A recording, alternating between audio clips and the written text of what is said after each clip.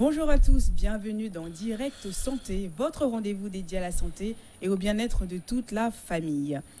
Ce matin, on parle de euh, d'ulcère euh, gastrique, hein, donc l'ulcère gastrique euh, aussi appelé gastro-duodénal, hein, qui est une plaie qui se forme sur la paroi interne de l'estomac ou du euh, duodénum. Donc, euh, il se manifeste typiquement par une douleur au niveau de euh, l'épigastre. Donc là, notre médecin, docteur Akwe Marie, qui est avec nous ce matin, donc va nous en parler. Donc, s'il s'est situé dans l'estomac, qui est ce qui se norme l'ulcère duodénal, lorsque il forme une duodénum, donc euh, ça sort, ce sont, en quelque sorte des plaies en forme de érosion qui pénètrent profondément dans la paroi du tube digestif.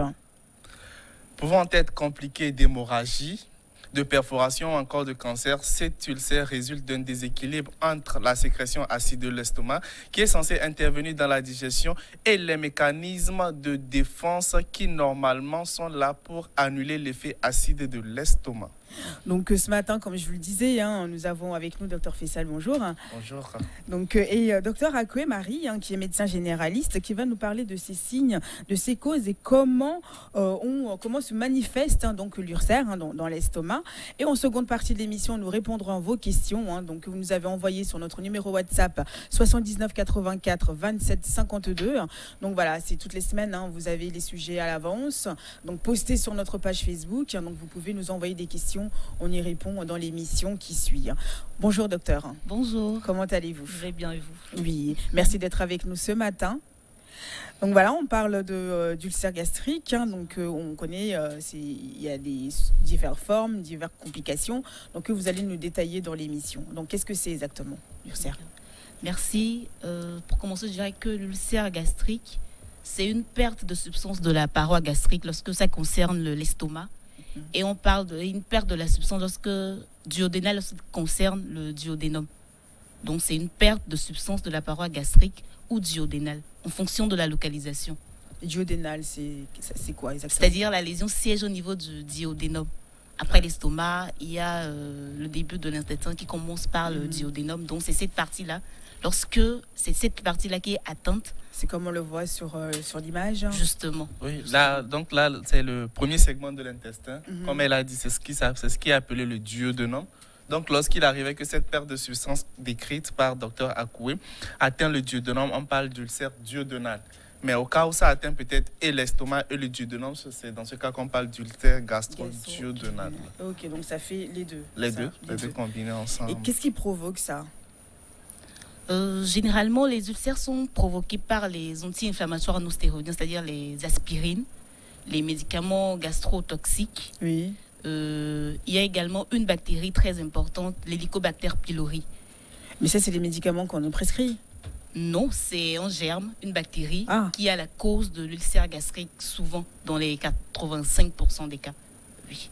Il est à la base de, du début de la provocation, même des complications de l'ulcère gastrique. D'accord. Docteur Fissal, mais c'est, euh, à dire que ça peut arriver comme ça. Oui, c'est une infection. L'ulcère, de toute façon, le commun des mortels appelle ça une plaie, une plaie que j'ai dans le ventre. c'est ça. Voilà, donc cette plaie n'est pas liée qu'au déséquilibre de l'acidité gastrique. Euh, voilà, elle n'est pas que liée également aux anti-inflammatoires stéroïdiens. Il peut s'agir d'une infection au germe que le mm, mm, docteur mm, a appelé l'hélicobacter pylori. Voilà. Donc à partir du moment, parce qu'on entend souvent parler de ça, j'ai une plaie dans le ventre, euh, habillé, habillé, habillé et tout. Donc c'est ça. C'est cette infection due à ce germe qu'on appelle souvent l'hélicobacter pylori. C'est une bactérie. Est-ce que c'est dangereux pour l'estomac, ça, docteur? Bien sûr, d'habitude, il y a l'hélicobacter qu'on contracte dès l'enfance, qui reste là, parce que c'est un, une bactérie qui est résistante et qui reste, qui se plaît en milieu acide.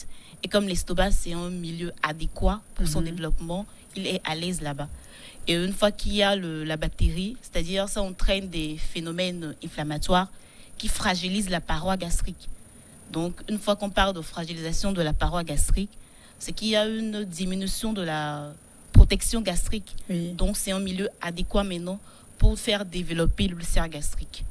Mais, mais ça, euh, par exemple, quand vous dites que ça, ça se plaît en milieu acide, donc c'est aussi par rapport à ce qu'on mange Ça se contracte partout. C'est une bactérie qui est orofécale, c'est-à-dire euh, les mains sales, les nourritures qui sont peut-être souillées. Mhm. C'est donc ça, on contracte ça dès l'enfance. Qui est là. La viande euh, pas euh, mal conservée.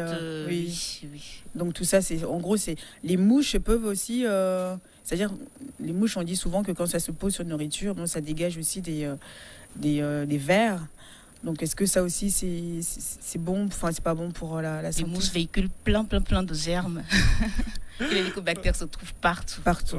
Ah mon dieu. Oui, mais après au moins que les gens sachent euh, réellement euh, comment faire et comment euh, comment enfin, faire attention justement. Oui, bien sûr. Comment... Les, les, mouches n'ont jamais été une bonne chose pour les Ah du tout, du tout. Et comment on ressent ces signes Le, gastrique. Oui. Eh bien, le se manifeste pas en syndrome typique c'est-à-dire, il y a la forme typique et la forme atypique. Et typiquement, on a une douleur à l'épigastre, en haut du ventre. Euh, cette douleur est à type de crampe ou de brûlure, des fois.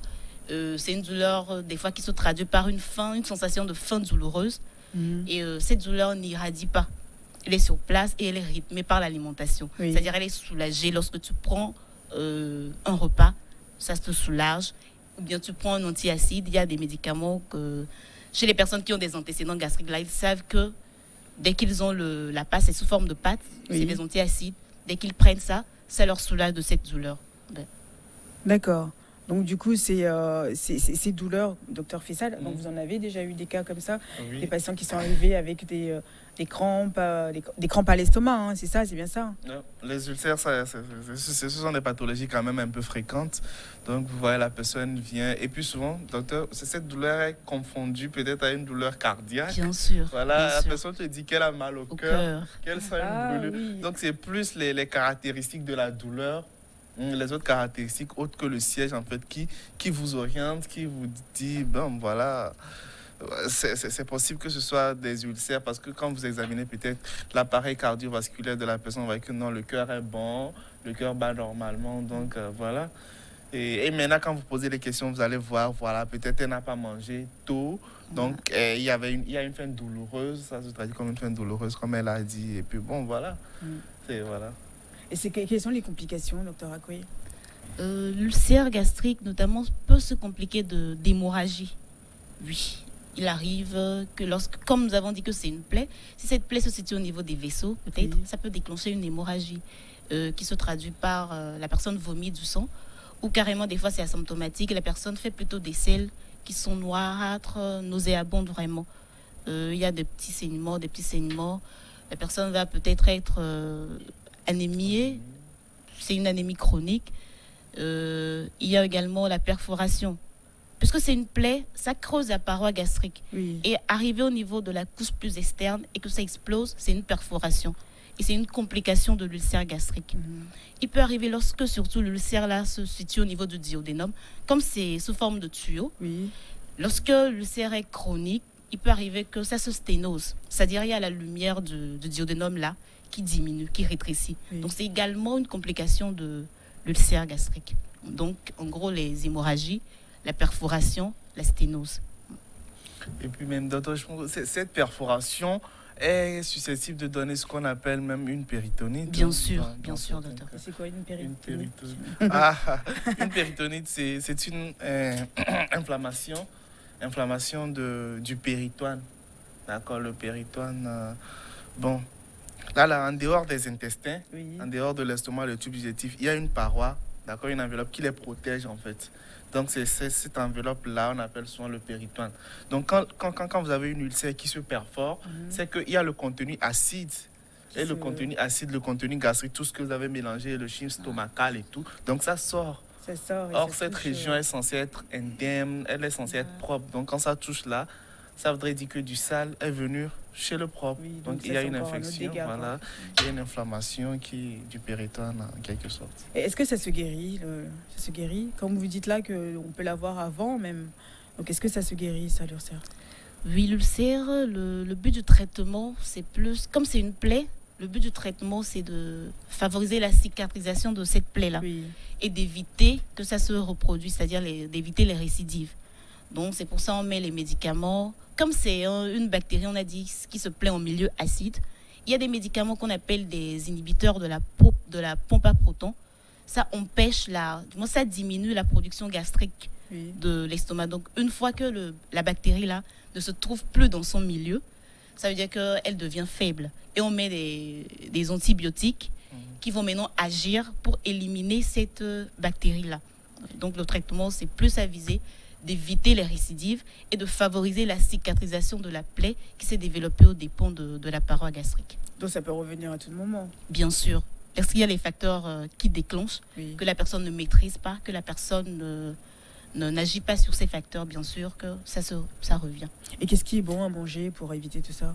Dans les aliments, par exemple Bon, côté aliments, il faut privilégier les, aliments, les fruits, les légumes qui sont souvent riches en vitamine A, qui a un effet vraiment bénéfique sur les, les personnes souffrant d'un ulcère gastrique. Donc, euh, tout ce qui est acide, genre les vinaigres, les, les agrumes, le citron, les pamplemousses, tout cela n'est pas bon pour une personne souffrant d'un ulcère gastrique. Donc les, les, tout ce qui est vitamine A, ça c'est bon. Euh. Oui, les carottes par exemple, c'est riche en vitamine A, c'est bénéfique pour une personne souffrant d'un ulcère gastrique. Ah, les carottes, on ne mange pas tous les jours. Mais moi, j'aimerais vraiment qu'on revienne sur ces facteurs déclenchants, docteur, ces facteurs déclenchants que vous avez dit peuvent ne, pas être maîtrisés par le patient. Donc, quels sont ces facteurs? Parce qu'il faudrait quand même que les patients les téléspectateurs aient quand même une idée de ces facteurs afin de pouvoir les maîtriser. Bien sûr, il y a, nous avons dit que le, ah, il y a un point qu'on n'a pas soulevé. Nous avons dit que l'ulcère, c'est un déséquilibre, en fait, mhm. entre les, les, mécanismes protecteurs et les agressions. L'agression, là, c'est plus l'acide, le sucre gastrique mhm. que produit l'estomac lui-même. C'est de l'acide chlorhydrique. Et maintenant, il y a les protecteurs, c'est la muqueuse même de, de l'estomac. Mhm. Et euh, lorsque nous avons le stress, par exemple, la personne est stressée, il y a une production excessive de, de cet acide-là. Et euh, notons qu'au niveau de l'estomac, lorsque il y a l'ulcère là-bas, c'est plus une altération des mécanismes protecteurs. C'est-à-dire, ce n'est pas une surproduction de l'acide gastrique, mais plutôt le mécanisme protecteur de cette paroi-là qui est altéré. Donc, si la personne est stressée, si la personne prend peut-être des, anti-inflammatoires, notamment de l'aspirine surtout, il y a euh, ça diminue les mécanismes qui protègent. Il y a quelque chose au niveau de, la paroi, là, ce sont des enzymes qui favorisent la, la, production de, du moins l'entretien de cette paroi-là qui protège le, truc là, l'estomac. Donc s'il y a ces facteurs-là qui sont inhibés, ça veut dire que ça déclenche l'ulcère chez la personne souffrant de l'ulcère gastrique. Donc le stress est vraiment un facteur sur lequel important, mm, mm, sur mm. lequel il faut agir aussi. Le stress. Hein. Mais je pense qu'il y a donc, il peut, il peut y avoir une, euh, la consommation des aliments acides. Hein. parce que si déjà il y a il y a l'acidité gastrique, mais peut-être euh, euh, cette acidité est déjà là, mais après vous prenez encore des repas acides, surtout à jeun. Je pense que cela peut également agresser la muqueuse. Bien Comme on l'avait dit tout à l'heure, le vinaigre, euh, le vinaigre, il faut éviter d'en consommer. Le citron aussi, il faut éviter d'en consommer. Surtout bien sûr. Je crois. Oui, surtout à jeun. Et surtout si ce n'est pas aussi sucré. Mm. Donc il faut vraiment éviter de le prendre, de le prendre à jeun. Je, je, voilà un peu. Bon, mettre un peu de sucre quand même.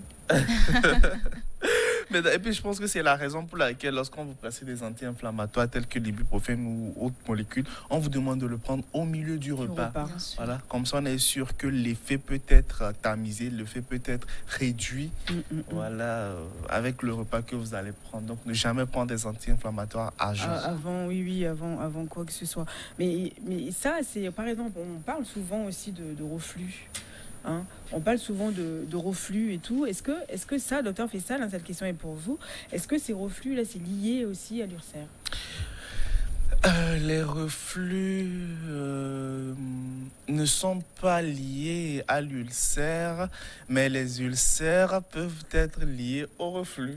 Donc c'est-à-dire ça peut provoquer des. Euh, je m'explique. En fait, les reflux, c'est comme le nom, ce sont des reflux, ce sont des remontées acides que vous avez là, qui vous a, qui quittent l'estomac et qui vous arrivent au niveau de l'œsophage, d'accord, du tube œsophagien. Donc ces, ces, reflux peuvent être également causés par plusieurs facteurs ou peuvent être déclenchés par plusieurs facteurs. S'il arrivait que vous, euh, ayant des reflux permanemment, mm, mm, mm. vous pourriez faire un ulcère. Parce que le contenu de l'estomac est acide. Et l'acidité est produite au niveau de l'estomac, ce n'est pas vraiment au niveau de l'œsophage. Donc quand on parle de reflux, cela sous-entend qu'un contenu acide vient dans une muqueuse qui n'est pas acide. Ce qui voudrait dire qu'il y a déjà une agression au niveau de l'œsophage. Donc quand cela remonte, à chaque fois, il y a cette agression qui est là, cette agression qui est là, et cela peut finir en plaie. Donc vous avez un ulcère. Un ulcère. Donc dans l'autre sens, donc le reflux peut aussi euh, être déclencheur. Oui, le reflux peut être déclencheur d'un ulcère chez vous. Mhm. Voilà. Euh, bon, on va juste marquer un temps de pause, on revient juste après les informations.